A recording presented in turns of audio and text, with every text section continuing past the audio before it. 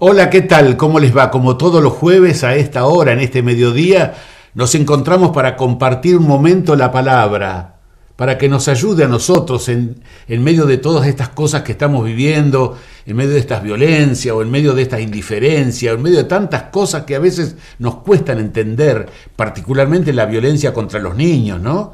Los abusos contra los niños, que nos cuesta comprender y entender. Por eso estamos en este mes, este último mes del año ya como azorado de tantas cosas que suceden, por lo que vivimos a nivel mundial, por lo que vivimos a nivel nacional o familiar, por el cansancio propio que tenemos y que sentimos durante a esta altura ya del año terminando. Estamos en el segundo día del último mes del año.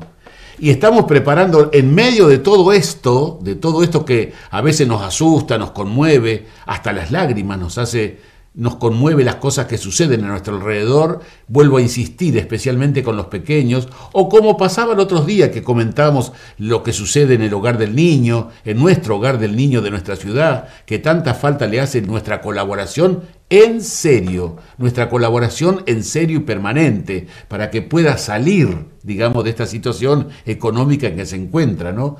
Todas esas cosas nos apabullan un poco, nos duele, pero en medio de todas estas cosas, nos estamos preparando para recibir al Señor de la vida, ¿no? Aquel que vino a unir, aquel que vino a unir lo que estaba separado.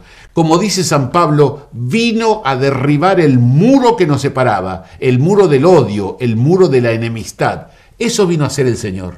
En medio de todo eso nos estamos preparando. Eh, comenzamos ahora el domingo, comienza la segunda semana de las cuatro que hay, comenzamos la segunda semana del tiempo del adviento, de preparación a la Navidad. Y en esta segunda semana aparece el personaje, aparece el personaje del adviento, aquel, el personaje de la espera que es Juan el Bautista, aquel que va a cococho de los dos testamentos, del Antiguo y del Nuevo, el profeta que viene del Antiguo Testamento y que anuncia la venida, la presencia del Mesías, del Señor entre nosotros. Y miren lo que nos dice la palabra de Dios del Evangelio de San Lucas. Este, Juan Bautista, comenzó entonces a recorrer toda la región del Jordán, anunciando un bautismo de conversión para el perdón de los pecados, como está escrito en el libro del profeta Isaías.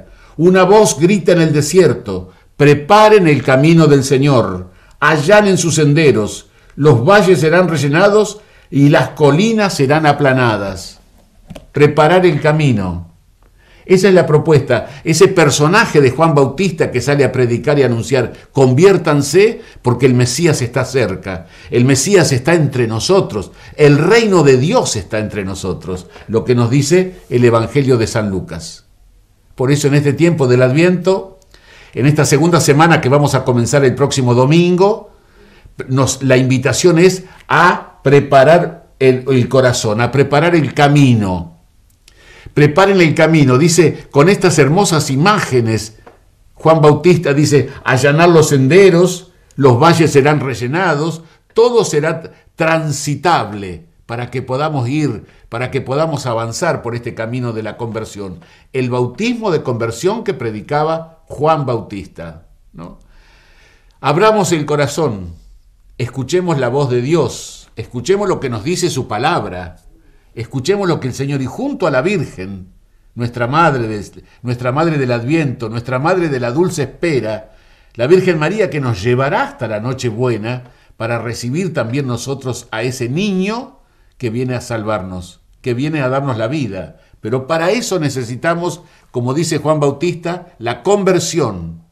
Necesitamos cambiar, convertirnos, volver, a, volver al principio tratar de llegar a ser lo mejor posible. Una voz grita en el desierto, esa voz de Juan Bautista, preparar el camino del Señor. ¿Y de qué forma lo preparamos al camino del Señor? Miren, primero con la oración. ¿Qué es la oración? Es la comunicación que yo tengo con Dios, que la puedo tener personalmente o congregándome o comunitariamente, una celebración en la parroquia o donde fuere, en el templo que fuere, encontrarme con el Señor seriamente a través de la oración.